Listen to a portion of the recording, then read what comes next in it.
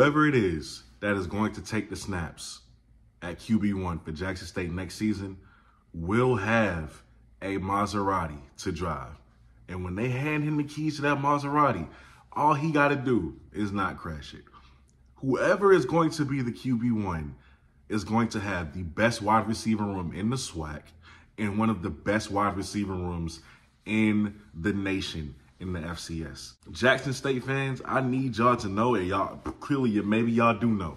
Your receiver room is still one of the most desirable receiver rooms in the FCS, regardless of who you lost, regardless of losing Dallas, regardless of losing Shane to the transfer portal, who you still could get back, regardless of losing Travis and Kevin Coleman. You still have a very desirable wide receiver room. So whoever the offensive coordinator is, whoever the QB1 is, all you got to do is not crash it. You're going to get the keys, just don't crash it. What we're going to do is talk about the potential lineup, guys who we know are going to get a lot of playing time at the receiver position next season and how they stack up versus the SWAC. So let's get into it. But before we do, disclaimer, there are, there are a lot more receivers on this roster who are not going to be listed in this video. Guys like Kobe Paul or Christian Allen, guys who are really good, but because of the guys that are already here in this receiver room, we just might not see them next year. So they're there on this roster. I didn't forget about them. This is just the lineup that we are expecting to see. Um, so let's get into it. You start with Trevante Rucker, a guy who didn't get a lot of playing time for Jackson State simply because you had guys like Dallas, you had guys like Shane or Cam. You know, you had all of these guys who were ahead of him in class. And, you know, just at the moment, they just provided the better option. They were the better fit to be out on that field and they gave the team the best chance to win. But Trevante Rucker is still a four-star wide receiver from Florida who's very dynamic, who had very meaningful snaps in his freshman year. Who, I mean, he made plays. This is a guy who sat and waited his turn, never complained not once. He waited his turn. And now next year, you're going to see him get back to making plays like he did in his freshman season. And I can't wait to see him on the field next year. I'm expecting a big bounce back year from Trevante Rucker.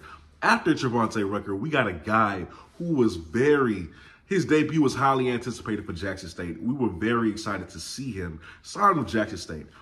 Quay Davis, Quadarius Davis. Now, Quay Davis did suffer an injury uh, later on this season. So he went to the hospital. I think he posted on his Instagram story. I don't know if he had surgery or not, but if he did, basically he'll be good to go. But Quadarius Davis was a four-star wide receiver, okay, out of high school, coming out of Texas, Skyline, Texas. And we had high hopes for him because, man, we looked at him as an Anquan Boldin, Dez Bryant type of receiver. He's very athletic, very athletic, right? Can make such great catches, so acrobatic. His his vertical is something to be desired. I mean, my goodness. Quay Davis was just a monster, right? And in his first season starting this year, he didn't really show much for the same reason that Trevante Rucker didn't show much. It was just too many guys ahead of him. It was the most packed receivers receiver room in the country. I think this new offensive coordinator will look at Quay and use him in the way that he needs to be used as a traditional wide receiver. And I can't wait to see him on the field for Jackson State next season. After Quay Davis, you have another four-star, Enrico Powers. 23 receptions last year, 213 yards with his past season, and 9.3 yards per catch. That's what Rico Powers contributed to the team. Now, even though he got meaningful snaps, even he was still behind uh, Dallas Daniels and Cam and Shane Hooks. He was still behind them, but he got more meaningful snaps because he was a little bit more experienced being coming from the SEC playing with the Gamecocks. He's still a young guy, still got a couple years of eligibility left. So Rico Powers is a tremendous route runner who I think with this offense that they're getting ready to run with the personnel that they're bringing in, I think Rico Powers is going to break out. He's going to break out and he might be he might be the leading receiver. Maybe. I'm gonna just I'm gonna just go ahead and put that on him because I think he can do it. So look out for Rico Powers next season as well. After Rico Powers, we got Willie Gaines. Willie Gaines wasn't a four-star prospect, but Willie Gaines was the firecracker for Jackson State early on last season. From from early last season to mid last season, Willie Gaines created the spark when it needed to be made. Willie Gaines was out there balling, man. I mean, you could not stop him at one point. He was the focal point of the offense. They just had to get him included. Plus, he provided spark on kick return as well. With Rico, with I'm sorry, with Willie Gaines, he had 27 receptions on the season, but in those 27 receptions, he had over 400 yards, 446 to be exact. You add that on to the five touchdowns that he brought in the air, averaging 16.5 yards a catch. Let me say that again because that is crazy. He averaged 16.5 yards a catch on the season. I expect him to have the same impact next season, no matter who's throwing him the ball. Now, after Willie Gaines, you got Seven McGee, another four-star receiver. Seven McGee, my guy, my favorite player in college football. Um, being an Oregon fan, so you know I was very happy when he chose you guys. Seven McGee is very talented. He's a very talented individual. He's an athlete, so he'll be a running back and receiver. He's not he's not really used to playing receiver because he's been playing running back in high school the majority of his time, but he can give you something at receiver. He's I, I don't think he's going to be stopped at this level, wherever he lines up at. So listen, he's going to bring that spark, right? He's going to come in, he's going to be a team player, and he's going to be used wherever you need to use him. This is your biggest offseason addition, so he's going to help you in whatever way he can. After Seven McGee, you got one of the younger guys who we could see on the field potentially next season. Johannes Bertillion. How many of you remember that guy? Now, Johannes was just a true freshman, last year. But man, he is 6'3, 200 pounds. If you don't get Shane Hooks back, he could be that next Shane Hooks. Seriously, he could be that next Shane Hooks. I mean, this kid, man, listen, the wingspan on him, incredible. The height, good. He has really good size out of high school to be a college wide receiver. Like he could have came in and been just fine if he was to start. But that just wasn't the case. You know, it, it really was a redshirt year for him. So we I can't wait to see how he turns up and if he's going to get on the field because Johannes Bertillion is a name that I have not forgot about and I can't wait to see him. By the way, guys, we got one more four star. We got one more four star that I haven't even brought up yet, who we ain't even seen much of last season. And y'all know who I'm talking about. That's Malachi Wideman. Oh yeah, yeah, see, see, we all wanted Malachi Wideman to play so bad this season.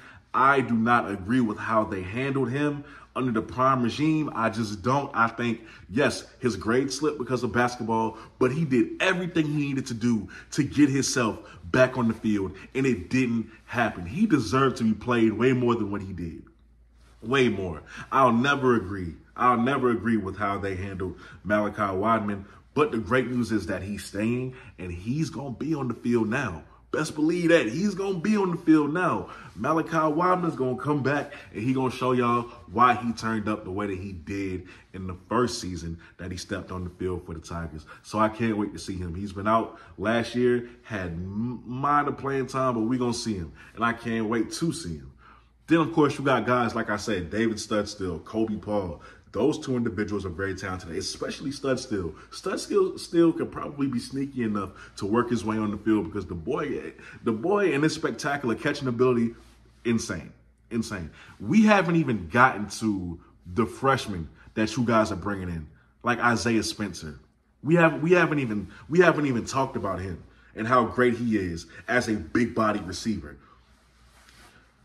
Y'all, y'all are gonna be just fine y'all gonna be just fine. And newsflash, this might not be it at receiver. There's two more guys potentially waiting. One from Tennessee. Uh, I think the other one is from West Virginia. Yeah, West Virginia. So it might not even be over yet with this receiver room. It's deadly. It's deadly. So really, all you have to do is focus on the offensive line. Even though you didn't lose much, you lost Willis Patrick and Tyler Brown. But you know that's two spaces that you need to uh, fulfill. So you need to worry about that. And you're still trying to find who could be your signal caller. So all in all, y'all are still damn good. I mean, y'all are really good. You retained Sy'Veon Wilkerson as well. You got JD Martin back. Seven will be playing some running back. Y'all, y'all are fine. Jackson State, get ready. It's gonna be a season. It's gonna be a season to remember. Uh, just so y'all know though, y'all play a certain school in the MEAC Challenge Challenger week one.